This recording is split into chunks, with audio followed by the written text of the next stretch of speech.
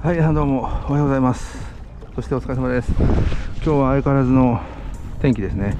で雪かと思ったんですけども雪降ってないので、えーと雨が降ってますけどもちょっとね調査の方に行きました、えーちょっと軽く水温などね濁りとか寒さとかが伝えられたなと思います。2月10日10時33分です。お願いします。下げがねちょっとやっぱり引き始めてきてる状態です。濁り方は昨日と変わらないか5%ぐらい濁ったかなっていうぐらいですね。やっぱちょっと薄い濁りがやっぱ入ったままです。はい。では水温を見ていきましょう。ただの木で釣れました。しぽいっと。えー、っとね意外とあるかな。7.3度ぐらい。7.3度ぐらいあります。はい。よろしくお願いします。今日はワンドイカレッジ公園のちょっと上流側に入りました。でちょっと寒いので鼻水がずるずる言うかもしれないですけどちょっとお許しください。エクスシオールが出てきてる。はいお願いします。最初はえっとまたタックでちょっと説明させていただきます。昨日と一緒で ベンダーバール 89M にアンタレス DCMD です。でルアーはハイアンドロールです。ンのアイアンプレート 25g ハイアンドロー。これでいきます。鳥がねさっき一旦と置いたんですけど。OK アングラーさんは0名ですね。あ反対側にいるのかな。このキャストみたいなのこういった気がしたけど違うか。いやただねすっごい寒いです。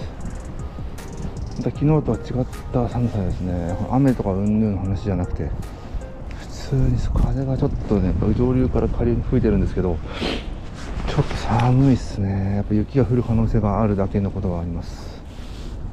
夜がちょっと降りそうな感じですけどね。かなり怖いですけど。帰りがまた歩いて帰らなきゃいけないのかなと思うとちょっと怖いですね。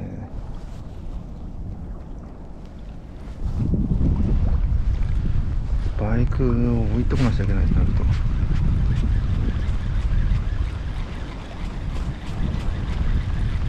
結構駅から家まで歩くだけでもまあまあ疲れますからね。雪だと。やっぱこのテールのフェザーはこれいいっすよね。なんかワームまでいかないですけどワームに近いようなテールにワームがついてるような感じの。動きをしますね。こうニョニョニョニョニョって。鉄板のそれとは違いますね。金属的この波動の強さとフェザーでの柔らかさとなんかうまいとこついてる気がしますけどね。なんでシングルフックなんですかね。ボトムを狙うこともかなり想定してるからなのか。動きがより良くなるのかからなのか。あちょっとなんかちょっとみぞれっぽくなってきたかもしれないな。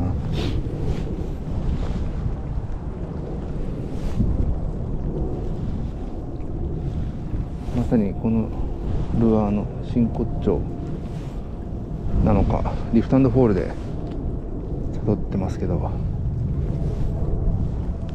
いや寒いですね。これちょっと今日の今日はまだ木曜日か。明日明後日とこれ連休になりますけど雪積もっちゃってるとまだね結構凍っちゃったりするんで危ないですよね。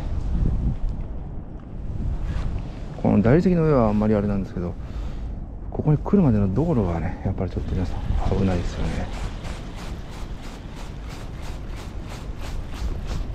さすがに今日はウォーキングしてる人とかもいらっしゃらないですね。いや寒い。わ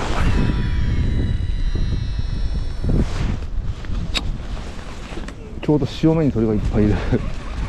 見えますかね。そこに。潮目が少し入ってますけどそこに沿うように鳥がいますね。なんでだろう。なんかその流れのあれがあるのか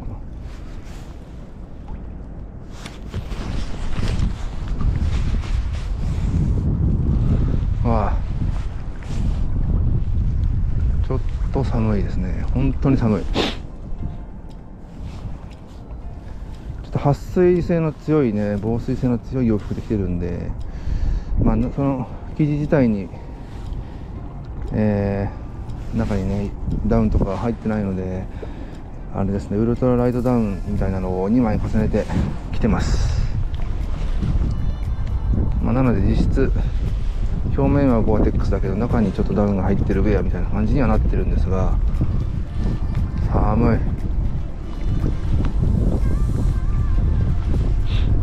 そして思ったより流れがすごい効いてる。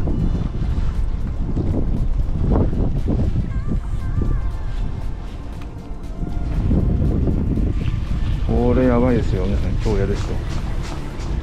夜は雪だからちょっとあれですけどね。ちょっと本当は今日来るのやめようかなと思ってたんですけども、まあ、あまりにも雪降ってないから 思わずちょっと来させていただきましたけど。あ監視艇だ。警視庁ですねあれは。はい波が来ると、えー、ザーザー音がうるさいので来る前に今日のところはこれちょっと終わりにしたいかなと思います。とりあえず濁りが5%ぐらい増して水温が 7. 点ちょっとです。はい。ですごい寒いのでもしやる方は防寒対策と雪が降ってアイスバーになった時の明日とかは皆さん気をつけるようにしましょう。僕も気をつけます。ではお疲れ様でした。失礼します。